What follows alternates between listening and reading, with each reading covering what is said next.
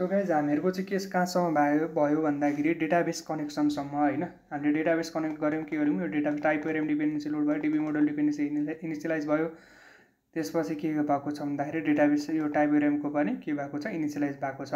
यो भन्नुको मतलब के छ भन्दाखेरि हाम्रो डेटाबेस चाहिँ सेट सेटअप भयो भन्नेसम्म हामी गरेछौँ होइन? भनेको चाहिँ हामीले के गरौँ भन्दाखेरि एप मोडलमा गएर हेऱ्यौँ भनेदेखि हामीले चाहिँ के गरौँ डेटाबेस मोडलबाट चाहिँ के गरौँ डेटाबेस सेटअप गऱ्यौँ।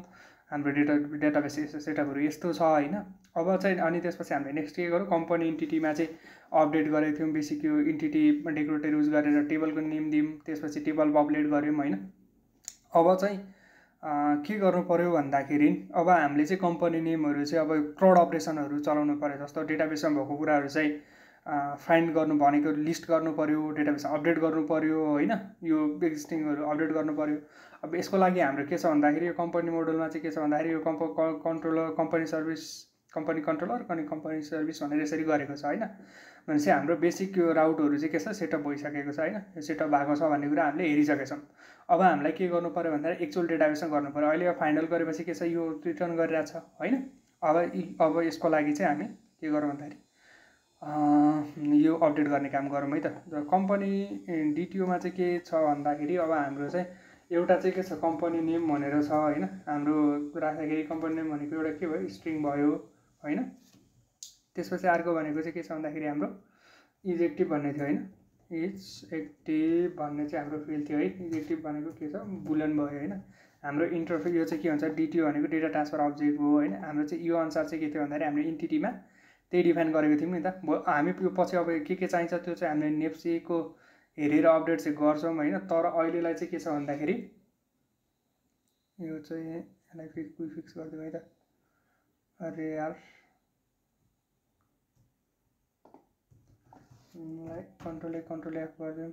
भएन त हो। यसको स्पेसको नमिलेको होइन।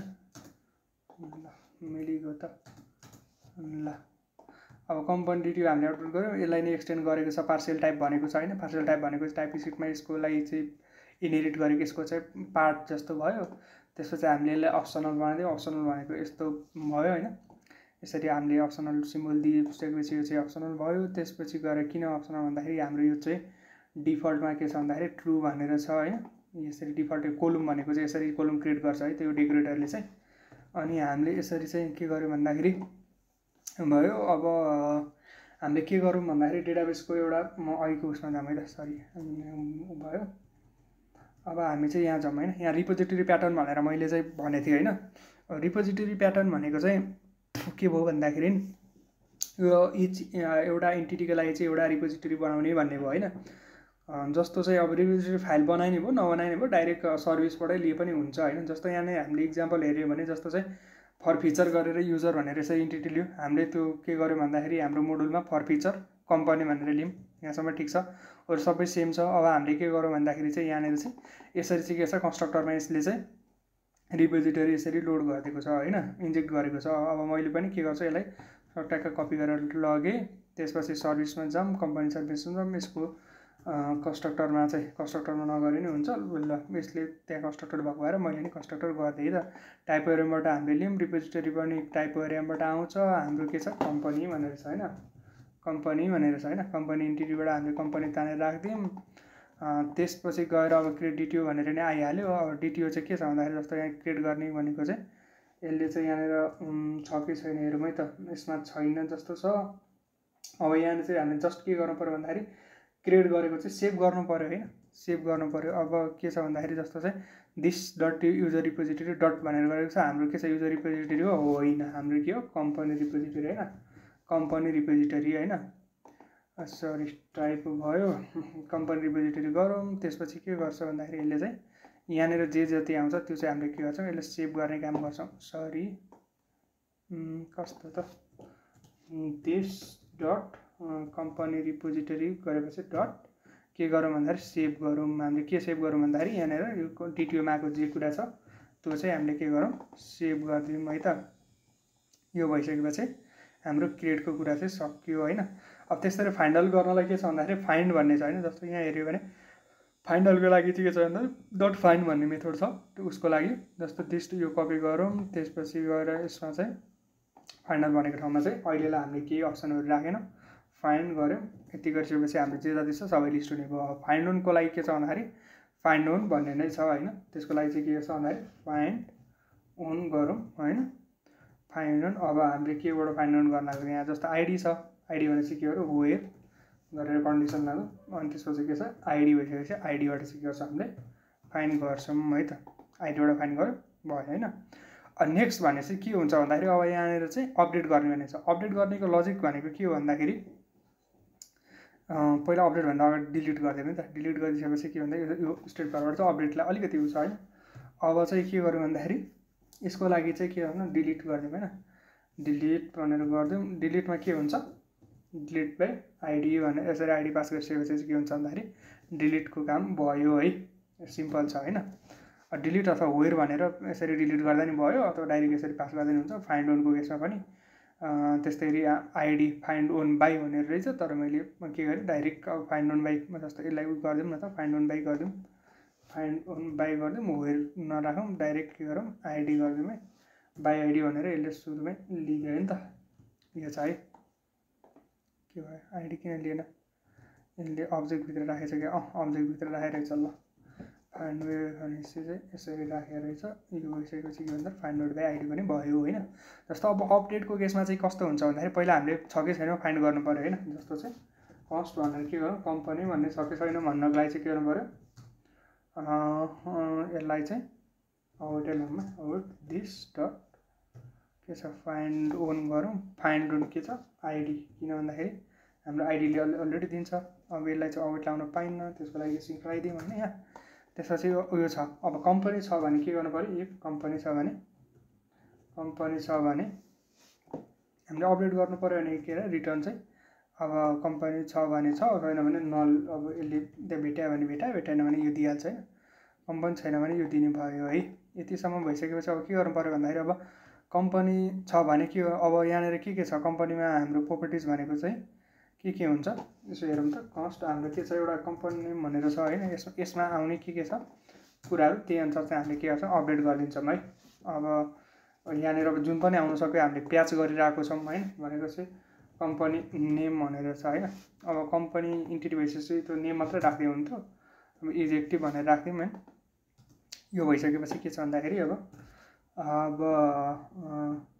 के गर्ने भन्दाखेरि यसको चाहिँ कम्पनी डट जस्तो चाहिँ कम्पनी नेम आयो भने के छ भने अब कम्पनी नेम आयो भने के गर्ने? सरी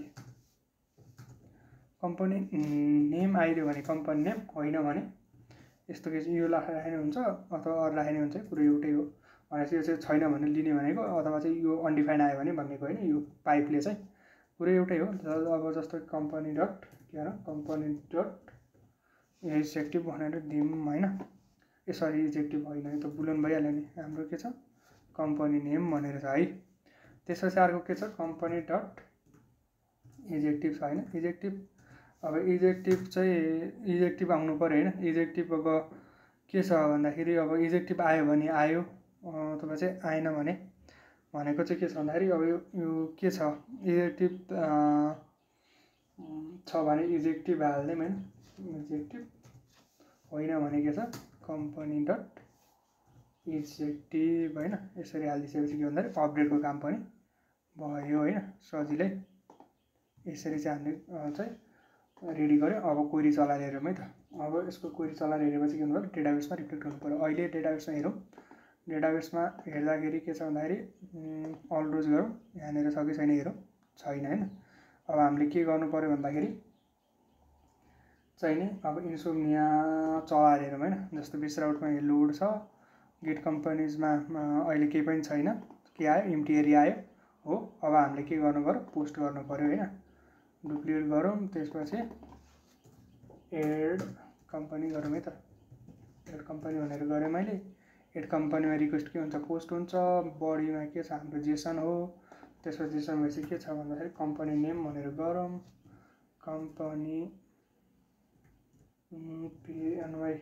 कंपनी नेम होइन कंपनी नेम गरेर चाहिँ जस्तो ल के गऱ्यो मैले जस्तो सोल्टी होटल गऱ्यो भने के हो सोएल टिई होटल भनेर न सोल्टी होटल भन्ने छ अरे अथवा चाहिँ ओल्ड लिङ्क राखौँ न कंपनी राखौँ ओल्ड लिङ्क भनेर राखौँ है त हाम्रो स्टकको कंपनी के भयो ओल्ड लिङ्क भनेर राख्यौँ है अब यहाँनिर अब जति रिक्वेस्ट गरे नि हुन्छ अब यहाँनिर के छ? ट्रु आयो।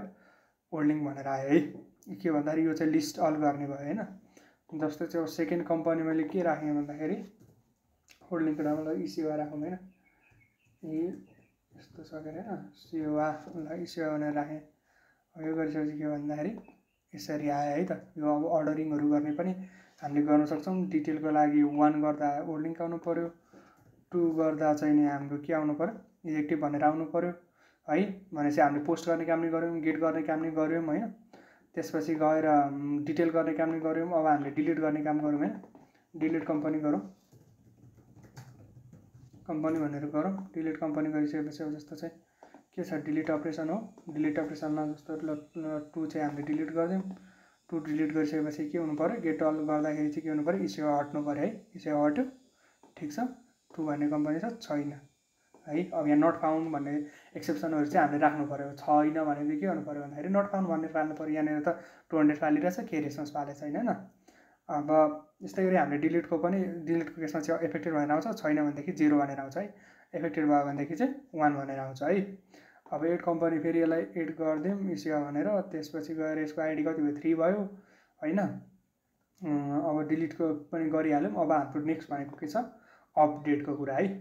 अपडेटको लागि चाहिँ के गरौँ भन्दाखेरि यसलाई डुप्लिकेट गरौँ अपडेट कम्पनी भनेर गरौँ है त। अपडेट कम्पनी भनेर गरौँ। अपडेट कम्पनीको इन्पोइन्ट हेर्ने हो भने कस्तो छ? अपडेट कम्पनीको राउट हेर्ने हो भने कम्पनी कन्ट्रोलरमा जाउँ अपडेटको लागि के छ? यसो आइडी प्यारेन्टमा छ। चाहिँ कुन कम्पनी अपडेट गर्नु? जस्तो मैले इसिओ अपडेट गर्न लाग्यो इसिओ अपडेट गर्दाखेरि चाहिँ जस्तो चाहिँ आइडी थ्री पास गर्नु पऱ्यो त्यसपछि कम्पनी नेम इसेवाको मिस्टेक भयो अरे होइन? इसेवाको नेम चाहिँ इसेवा भनेर छ अरे यस्तो छ अरे होइन? भने चाहिँ मैले के गरेँ भन्दाखेरि यसरी पोस्ट होइन नि त प्याच हो है। हाम्रो के छ? प्याच प्याच छ नि होइन। यहाँनिर के छ मेथड प्याच छ है। प्याच मेथडबाट गरिसकेपछि के भयो? इसेवा भनेर भयो। अब हामीले चाहिँ यसको डिटेल फेस गरौँ। टु त छैन थ्रीमा डिटेल फेस गरौँ। चाहिँ के भन्दा टु त डिलिट गरेको थियौँ। थ्री चाहिँ के भन्दाखेरि कम्पनी नेम किन यस्तो आयो? किन अपडेट भएन? इस्यु भए यहाँनिर अपडेट गरेको होइन हामीहरूले। सिओएमपिएनमै एनएएम त्यही त हो कम्पनी नेम। इस्यु है भनेर छ त। ए ए ए sorry sorry sorry sorry sorry यसलाई सेभ गर्न। बिर्स्यौँ हामीहरूले होइन रिपोमा सेभ त गरेको छैन। यहाँनिर त्यो चाहिँ भयो रिटर्न चाहिँ गऱ्यो तर चाहिँ नि एसाइन गरेर हामीले के गर्यो भन्दाखेरि सेभ गर्न। बिर्स्यौँ भनेपछि के छ? वेट दिस के छ भन्दाखेरि हाम्रो रिपोजिटरी चलाउनु पऱ्यो होइन। कम्पनी रिपोजिटरी डट सेभ के गर्नु पऱ्यो? कम्पनी गर्नु पऱ्यो नि त। यो गरेपछि के हुन्छ? चाहिँ सेभ हुने काम हुन्छ।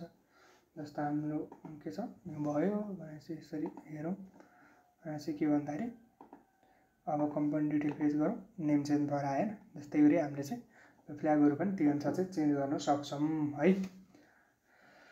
यसरी चाहिँ हामीले चाहिँ भनेको अपडेट गर्न सक्यौँ। भनेको हामीले अब क्वेरी डेटाबेस क्वेरी चाहिँ हामीले यसरी गर्ने रहेछौँ होइन। अब कम्प्लेक्स क्वेरीहरू गर्नु पऱ्यो भने जस्तो चाहिँ अब यहाँ अर्डरहरू अर्डर बाई गर्नु पऱ्यो होइन?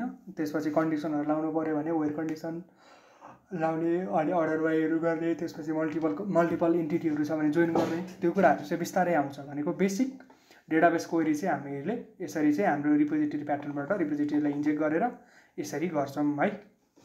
सो नेक्स्टमा चाहिँ हामी अब हामीले यति गऱ्यौँ जस्तो अब यहाँ हामीले चाहिँ के भएको छ भन्दाखेरि अब जस्तो मैले यसलाई क्रिएट गरिसकेपछि चाहिँ के भयो भन्दाखेरि अब मैले फेरि यो यो अपरेटर चलायो भने के भएको छ? अर्को कम्पनी बन्यो। गेटवाल कम्पनी गर्दा के हुन्छ यहाँ त?